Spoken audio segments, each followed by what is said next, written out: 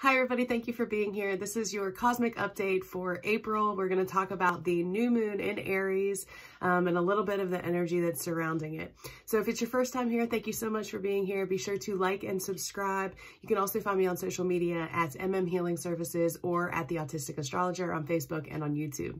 So when we talk about this moon, it is happening on April 11th. It happens at 7.31 Pacific Standard Time and 1031 Eastern Standard Time, and it's going to be happening at 22 degrees of Aries. So there's a lot happening in Aries for this moon. There's an Aries stellium, so the sun's going to be there, the moon's going to be there, obviously, for the new moon.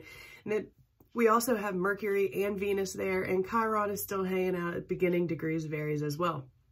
So a lot of Aries energy. We know from previous videos that Aries is our first sign of the zodiac. So not only is it a new moon, but it's a new zodiacal year as well. So a lot of newness in the energy just straight off. So new moons are all about planting seeds, all about starting new intentions, all about making new plans, starting new, you know, projects and adventures. So this newness is really, really, really coming into the air. We're going to feel this shift happening, things starting to take off. Um, we're activating a cycle from 2020 that was the Mars retrograde cycle. So this moon is happening at 22 degrees Aries, and that was the same spot those are the same um, degrees that Merc or that Mars retrograded in 2020. So if you weren't around for those videos, you can catch some of them on my um, on my YouTube page. So if you want to go back and watch them, fine. If not, basically Mars retrograde was holding us back in 2020 from getting things done. And now this new moon is going to reactivate that same spot in our charts. And so we're going to finally feel like we can start getting some things done in the avenues where we've really felt held back, and that's going back to um, September, October of 2020. So um, that activation cycle is getting started. Every time we have a new moon, it's a closing of last year's new moon. And last year's new moon that happened in Aries was conjunct Chiron, the wounded healer.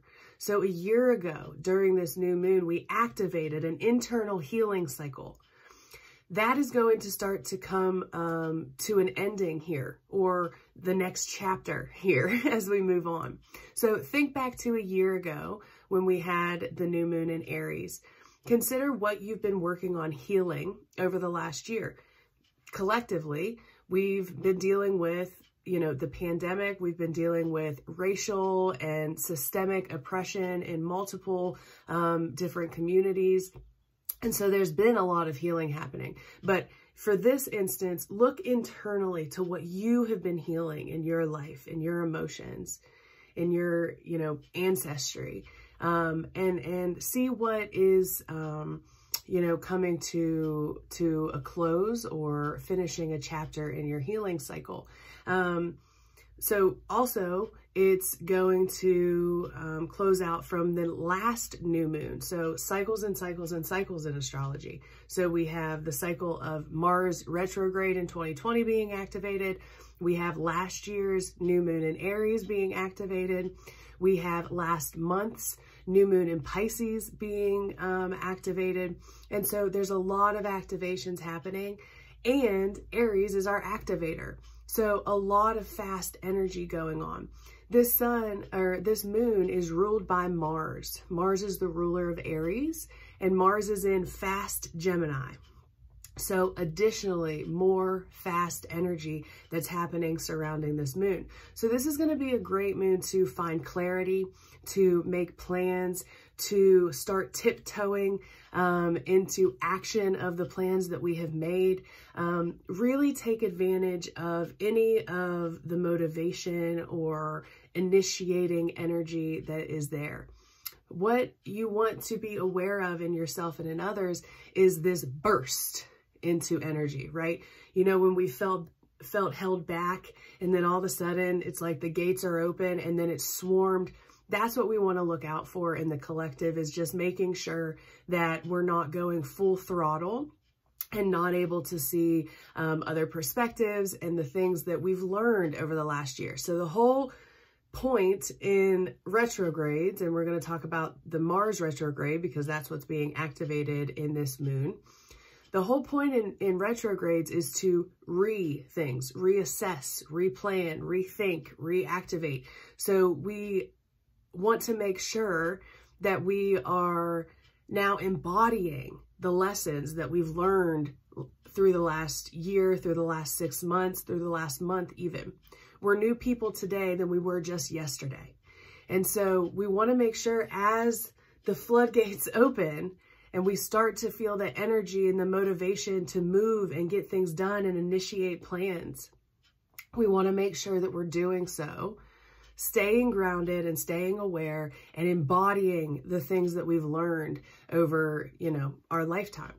And so it's a great time to initiate plans and also make sure that you stay aware and you continue to check in with yourself and you don't allow the motivation to sweep you away.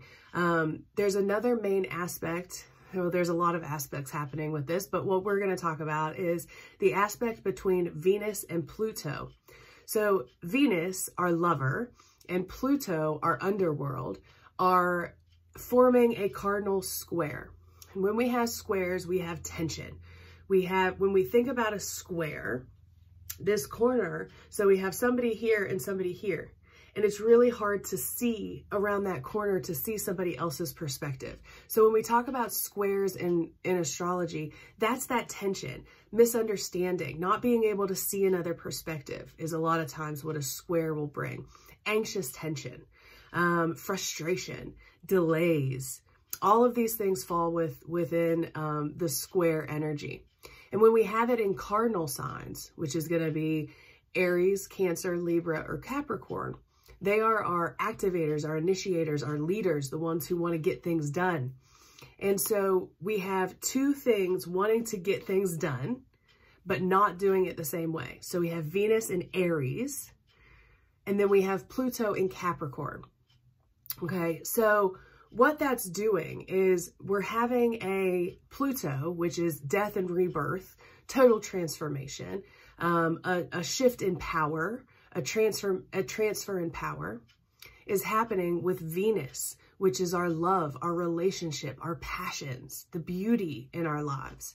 And so there's going to be this shift of control or this transformation of deep rooted power and, and structural energy that's going to be at play here. And this could, you know, formulate in so many different ways. But for instance, Venus is very often tied to relationships, also finances, but we're going to stick with relationships in this example. So Venus, relationships, Aries, right? So she's wanting to be in charge. She's wanting to activate. She's seeing um, all of this like confidence within herself. She's wanting to be seen, wanting to heard, wanting to get things done. Pluto in Capricorn, old structures, old patterns, the patriarchy, right? Um, feeling controlled by others. So Venus, when she's squaring Pluto in Capricorn, she may feel that she's lost control, that she's not in control of whatever this relationship is. And there may be tension or friction here that causes Venus to recognize that there's a shift, a power shift, a transformation in control of these relationships that needs to happen. So that is just one way that that uh, Venus square Pluto can can show up. Um, and it's all going to be based on your chart. So for this aspect, you're going to be wanting to look at around 26 degrees cardinal signs in your chart to see where this action is playing out. Find the house that Aries rules and the house that Capricorn rules and see how those things, those topics are squaring off in your life. Um, you can always reach out to me if you have questions about this or need guidance. I'll help you with the time and space that I have. You can also schedule sessions or readings with me directly on Facebook. You can find me at MM Healing Services or at The Autistic Astrologer. You can also comment on any of the videos that I post and, you know, we'll chat with the time and space that I have. So that that aspect with Venus and Pluto is going to be pretty significant um, during this, this moon cycle. Mars, again, um, is active in Gemini and it's ruling this um, this uh, moon because it it rules Aries. Mars rules Aries and the moon is in Aries. So Mars is the ruler of the moon. And it is forming a nice sextile between Mars and Gemini, the moon, and Jupiter in Aquarius. So one of the main aspects that I'm going to be watching in April is the trine between Mars and Jupiter. And we're going to talk about that more in future cosmic updates. You can find them on my page, so be sure to subscribe and follow me on social media. Um, and then you will also get specific videos just for my Patreon peeps. So if you want to check me out there, um, more updates on that to come as well. But this aspect between Mars and Jupiter is a really nice, like rejuvenating energy to focus on the good things that are coming in the future and being able to really recognize how to put those plans in play and working with um, our soul family to culminate this opportunity for our communities. Um, and so this energy is very beautiful and harmonious. And I believe it becomes exact on the 17th. Yeah, the 16th, we have that um, exact Mars, trine, Jupiter. More to come on that, but that energy is going to be present during this moon as well. So with everything this year, we have that Aquarian energy of Saturn and Jupiter.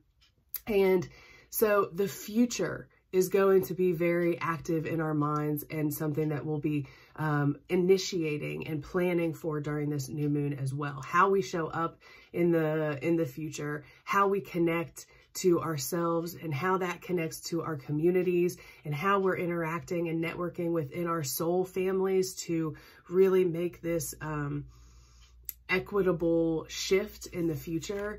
Um, so all of those things are present here during this um, during this moon.